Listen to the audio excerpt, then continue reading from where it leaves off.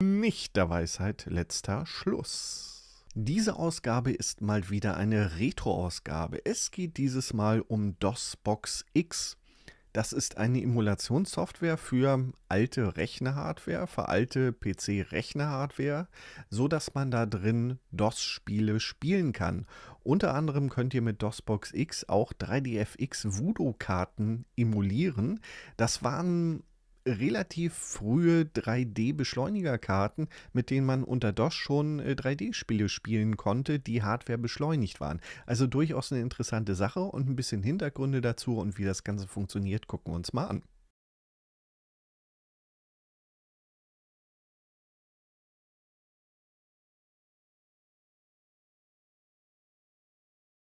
Wie ich das bei meinen Videos eigentlich immer so mache, recherchiere ich ein bisschen drumherum, denn obwohl ich theoretisch in diese Zeit falle, habe ich so eine 3DFX Voodoo-Karte nie in der Hand gehabt. Also ich habe es zwar mal bei Freunden gesehen, dass es sowas gibt und damals war ich sehr beeindruckt davon.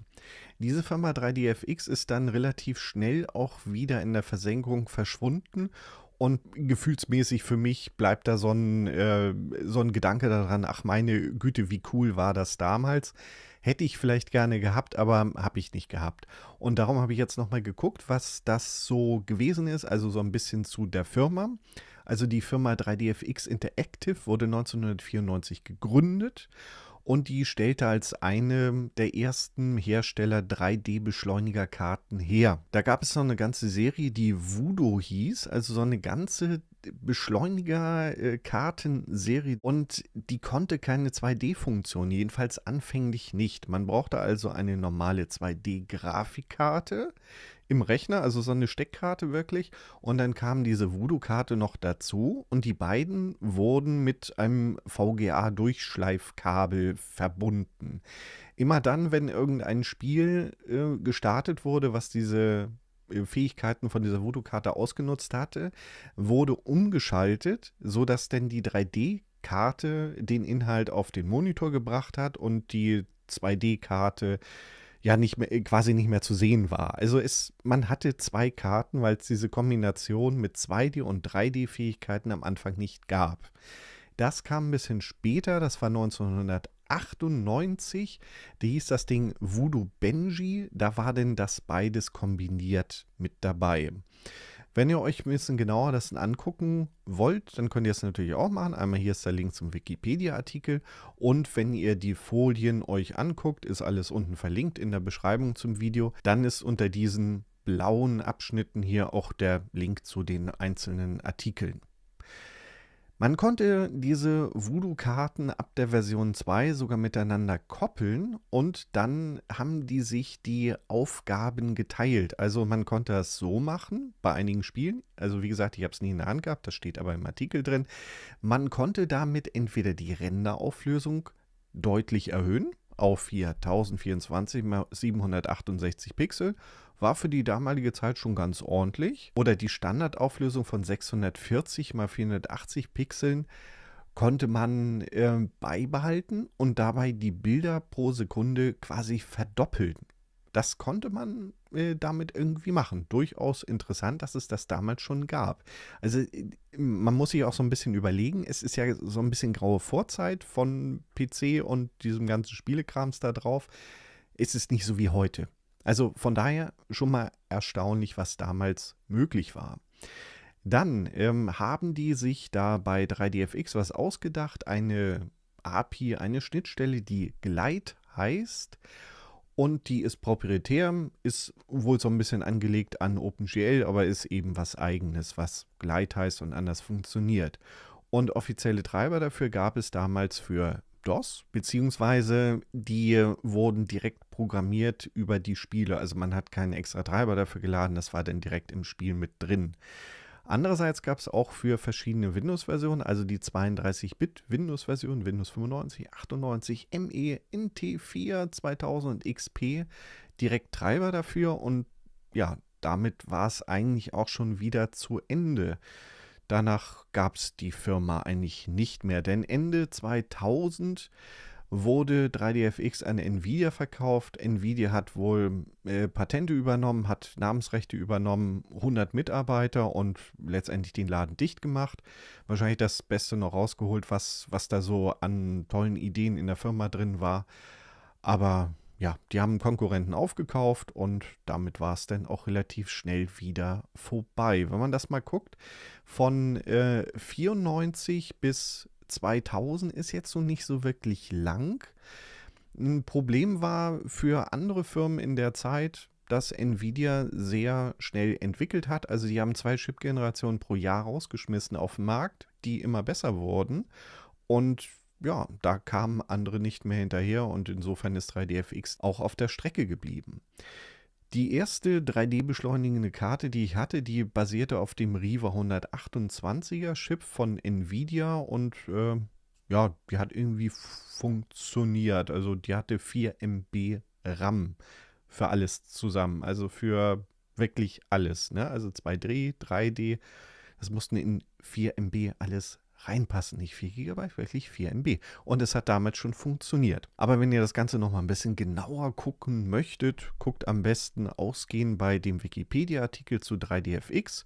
Und da drin stehen auch die ganzen Unterartikel zu den verschiedenen Voodoo-Karten und was weiß ich. Also wer sich für so ein bisschen Computerhistorie interessiert, ist da ganz gut mit dabei und hat dann eine Menge zu entdecken und zu lesen dieses DOSBox X, was ist das überhaupt? Also mehr oder weniger kann man sagen, das ist eine Virtualisierungssoftware, die alte Hardware emuliert. Also die emuliert verschiedene CPUs auch, die damals so gebräuchlich waren in dem Bereich, wo man noch DOS benutzt hat und auch die entsprechenden anderen Komponenten, also wie Grafikkarten, Soundkarten und so weiter und so fort. Das Schöne daran ist, dass man dann auch wieder alte Betriebssysteme drin laufen lassen kann, Spiele mit ihren Eigenarten, Anwendungen und so weiter. Also viele Dinge, die sich in ähm, KVM VirtualBox nicht wirklich wohlfühlen und die kriegt man damit, weil diese alte Hardware emuliert wird, auch wieder zum Laufen. Bei DOSBox X ist ein DOS enthalten, das basiert auf FreeDOS, braucht man nicht weiter zu installieren. Man soll auch DOS-basierende Windows-Systeme installieren können. Also Windows 3, 1 und was weiß ich, was es alles gab, 3.0. Diese Windows for Workgroups äh, Lidie Edition. Dann äh, die ähm, Windows 95, 98, Windows ME, die Millennium Edition. Die soll man dazu installieren können. Habe ich jedenfalls gelesen. Ich habe es nicht überprüft. Und dann soll angeblich auch sowas wie OS 2 und ähm, alte Linux da drin installierbar sein. Habe ich mir auch nicht angeguckt. Vielleicht probiere ich irgendwann mal mein erstes Linux, was ich 1996 als Box-Version gekauft habe, da drin nochmal zum Laufen zu kriegen. Die Projektseite ist folgende: dosbox-x.com. Und der Unterschied zur normalen DOSBox-Version gibt es auch nochmal als Artikel. Da gucken wir gleich nochmal ein bisschen rein, was sich da so geändert hat. Es ist relativ umfangreich, was die bei DOSBox X im Projekt dazugebaut haben. Ja, also da steckt schon eine Menge Arbeit drin. Aufmerksam geworden bin ich durch einen Artikel bei GNU Linux CH, also Grüße an die Kollegen da. Ähm, da findet man häufig sehr interessante Dinge und ähm, da habe ich gedacht, aha, es gibt was ähnliches, was wie DOSBox X, aber irgendwie noch mehr kann. Und dann habe ich da mal geguckt auf die Projektseite und äh, habe dann da geschaut, was kann man damit emulieren. Also im Hinterkopf hatte ich irgendwie dieses, dieses Voodoo-Zeugs damals. Das war irgendwie cool, du hast es nie gehabt. Aber es wäre doch eine tolle Sache, wenn man es jetzt emulieren könnte. Und geht das zufälligerweise damit? Und ja, es geht. Also so bin ich da hingekommen. Gucken wir uns jetzt nochmal an, was es da für tolle Verbesserungen im Gegensatz zur normalen DOSBox-Version gibt. Was vielleicht interessanter ist, es gibt so ein Menü, was es im ähm, ja, normalen DOSBox nicht gibt, sodass man da Sachen einstellen kann. Man kann auch weiterhin Dinge über eine Konfigurationsdatei einstellen, aber diese Möglichkeit über das Menü einzustellen, das gibt es beim normalen DOSBox nicht. Man kann irgendwie Zustände äh, speichern und wieder laden. Das ist bestimmt auch praktisch, wenn ein Spiel zum Beispiel keine Speicherfunktion hat, dann kann man es äh, einfach so abspeichern und dann wieder neu laden. Ist doch eine coole Sache. Dann kann man Image-Dateien und Verzeichnisse als eine Festplatte einbinden, also so, dass ähm, das Betriebssystem, was drin läuft, meint, aha, wir haben jetzt eine neue Festplatte oder da wurde ein ISO reingesteckt, dann haben wir ein neues CD-ROM-Laufwerk und dann kann man das direkt benutzen. Das geht bestimmt auch über das normale DOS-Box irgendwie, aber da ist es auch im Menü mit drin. Es gibt einen optimierten Turbo-Mode, den habe ich auch verwendet, um was drin zu installieren, denn mit der Normalgeschwindigkeit dauerte das Installieren ein bisschen lange und dann habe ich diesen Turbo-Modus verwendet. Äh, der macht es nochmal deutlich schneller. Ah, die Liste ist wirklich lang. Also ich werde das jetzt nicht alles durchgehen. Guckt euch das gerne an, wenn euch das interessiert. Also ich werde jetzt noch ein paar Sachen rauspicken, aber nicht, ähm, nicht komplett alles durchgehen. Das ist vielleicht ein bisschen viel. Emulation für Pentium, äh, MMX und so weiter. Dann kann man noch mal ein paar andere Systeme emulieren. Das ist vielleicht für einige Anwendungen interessant. Also das beginnt, also das untere Ende von der Fahnenstange ist quasi hier 8086er bzw. 8088er.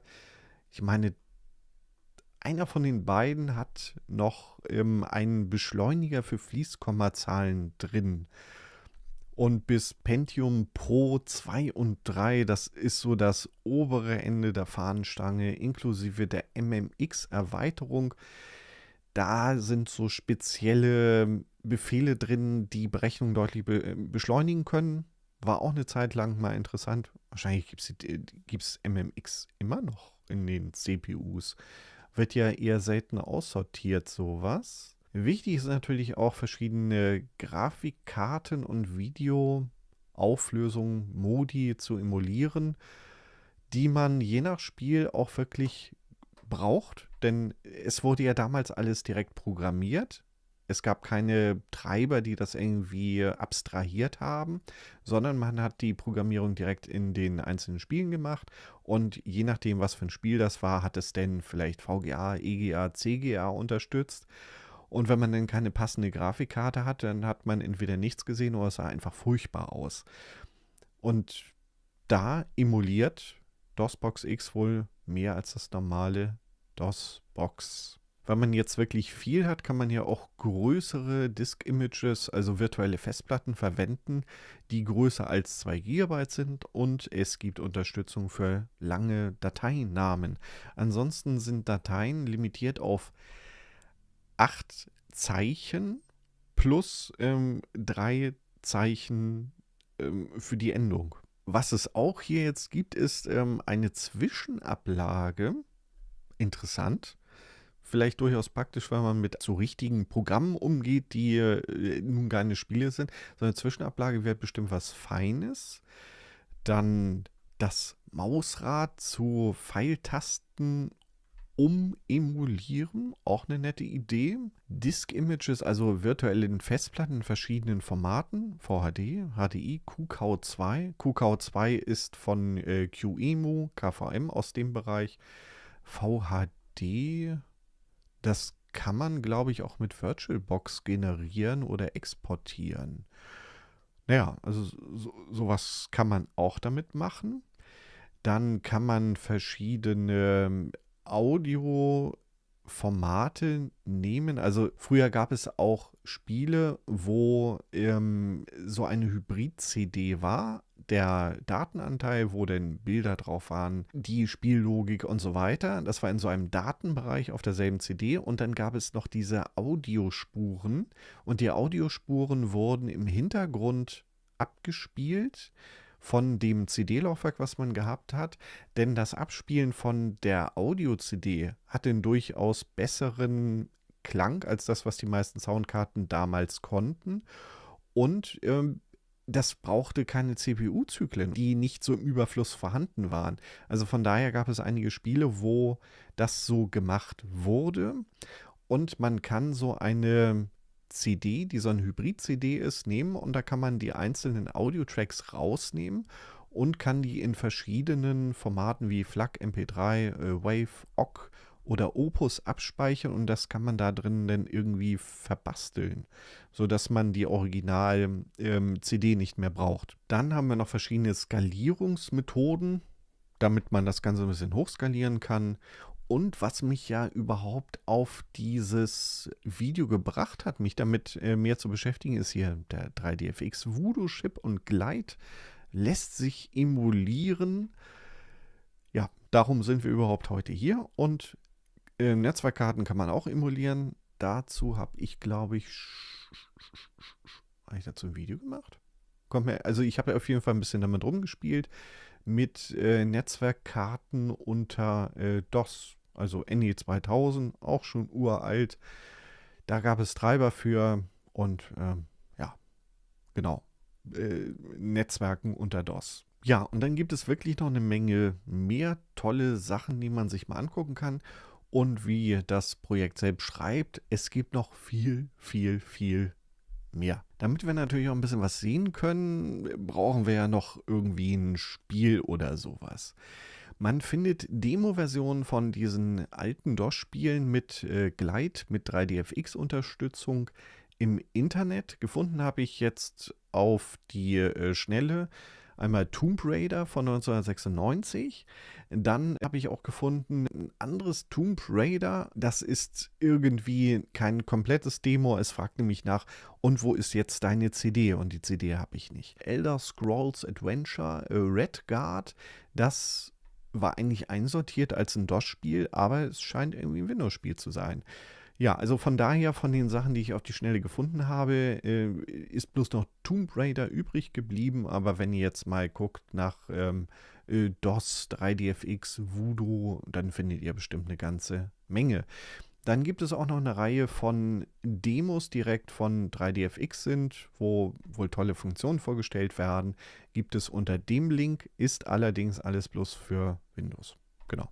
Guckt's an, probiert es aus, wenn ihr es meint. Es gibt auch Videos von den, äh, diesen Demos, dass ihr mal gucken könnt, wie es aussehen soll. Beim Installieren habt ihr je nach Distribution, die ihr einsetzt, verschiedene Möglichkeiten. Es gibt einmal die FlatHub-Version, also für Flatpak könnt ihr es aus dem FlatHub runterladen und installieren.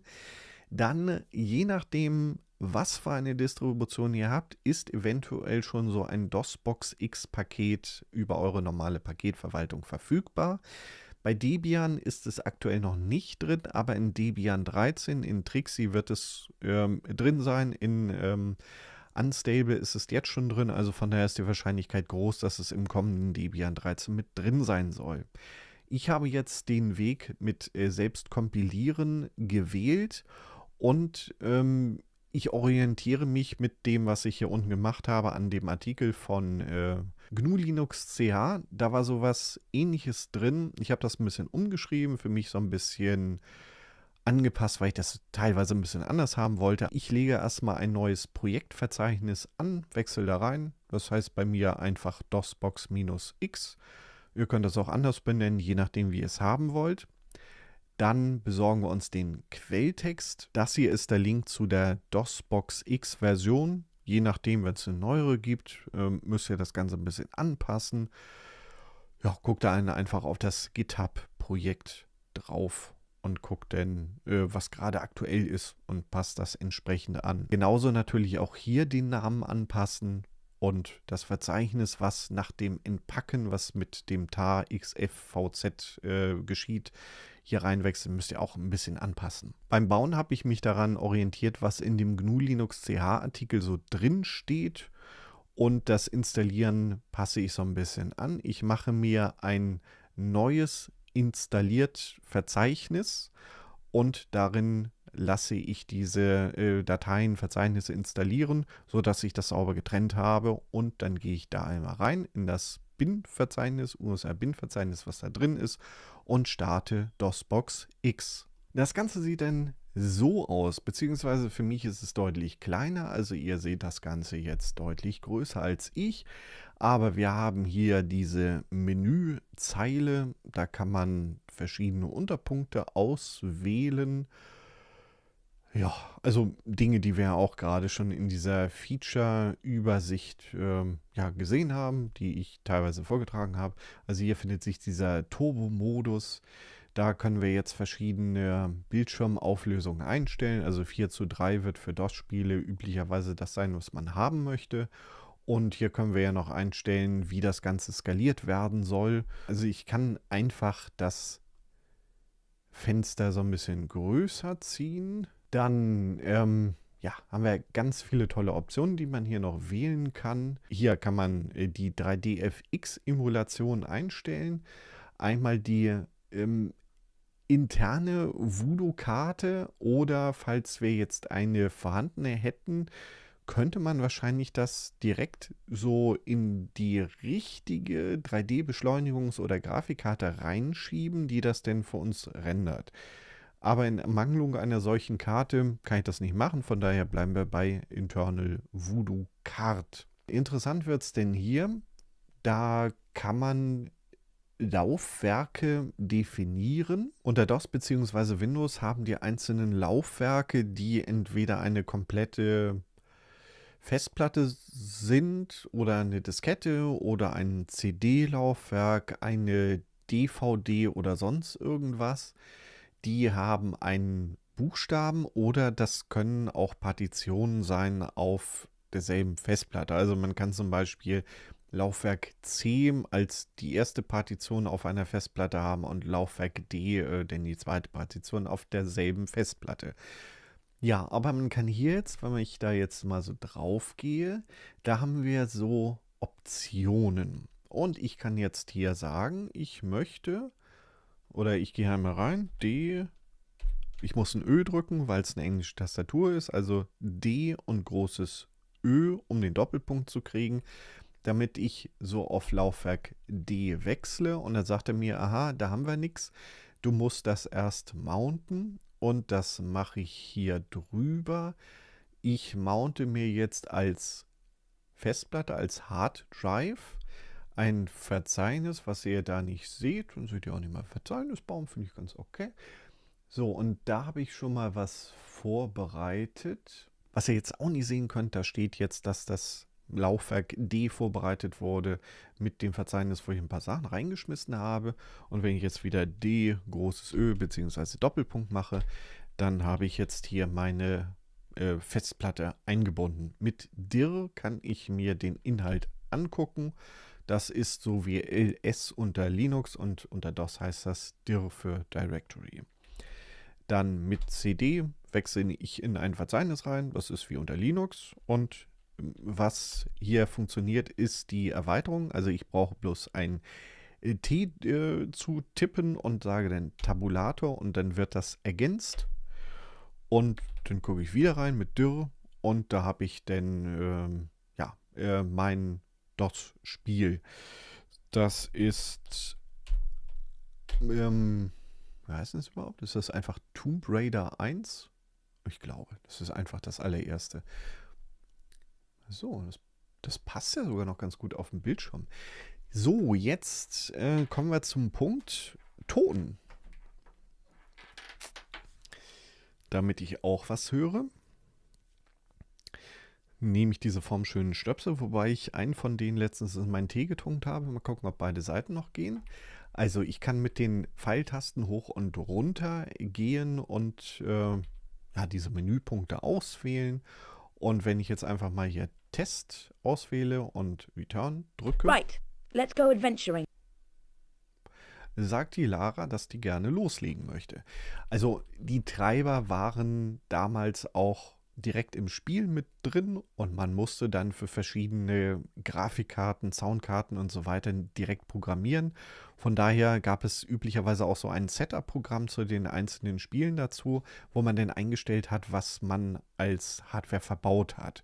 Und äh, Sound Blaster 16 bzw. AW32, das war damals schon, schon ganz okay, da kommt schon ordentlicher Ton raus. Ich hatte so, ein, so eine 8-Bit-Mono-Karte, die sehr stark gerauscht hat. Irgendwann gab es später mal was Besseres, aber am Anfang hat das Ganze auch sehr gerauscht und es war eben bloß Mono. Hat 100 Mark mit Handbuch gekostet. Gucken wir einmal, was gibt es noch?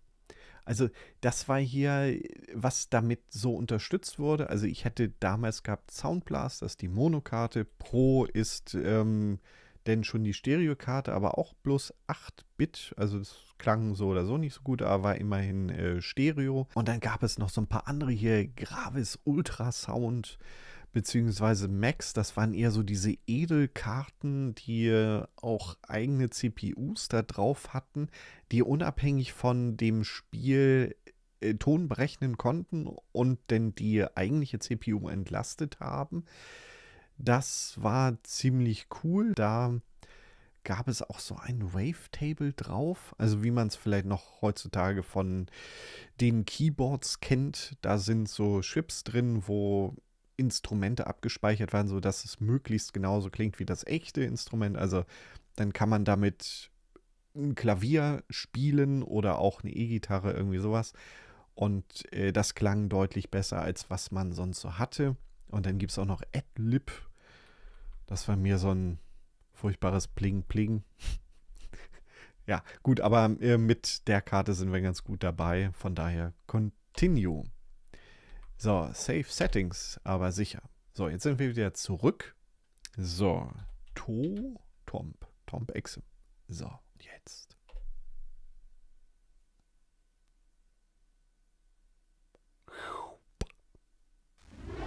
Sowas gab es damals. Und das ist jetzt quasi Hardware beschleunigt. Also es wird heutzutage umgesetzt mit... Ach, das läuft sogar alleine. Dann brauche ich euch ja gar nicht zu, äh, zu zeigen, wie ich schlecht spiele. Denn ich, ich hab's... Also ich, ich hab's probiert und ich... Das, das, sah nicht, das sah nicht gut aus. Gucken wir uns einfach das Ding ein bisschen an. Und Hundeliebhaber können mal weggucken.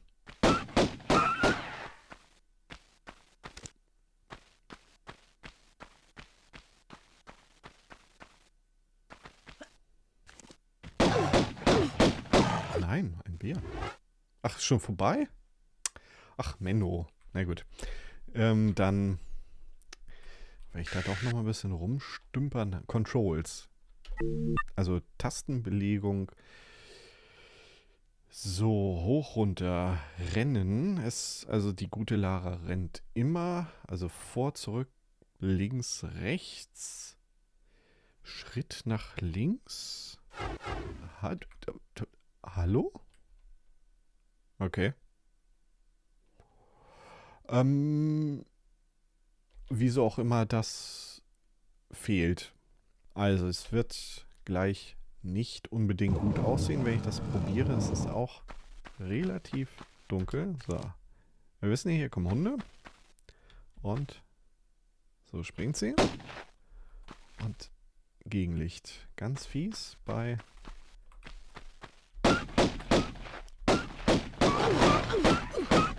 Ja, die Hunde haben Hunger. Die haben wenig gefrühstückt oder so. Was? Ich glaube... Oh, ich habe es geschafft. Ich sehe fast nichts.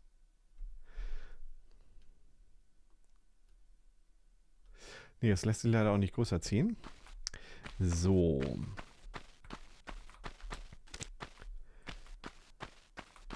Huch. Okay. Ja, tut mir leid, aber er war hungrig. So. Dann haben wir hier so ein Wasser. Und da soll man, sollte man echt nicht bei Sonne spielen.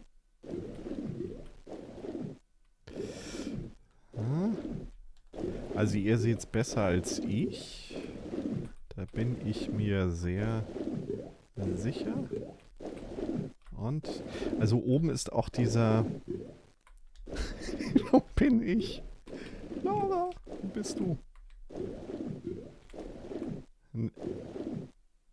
Was ist da zu Ende oder nicht? Ich, ich, ich sehe kein, seh kein Stück. Ja, mh, hm. muss doch irgendwo hell sein, oder? Da.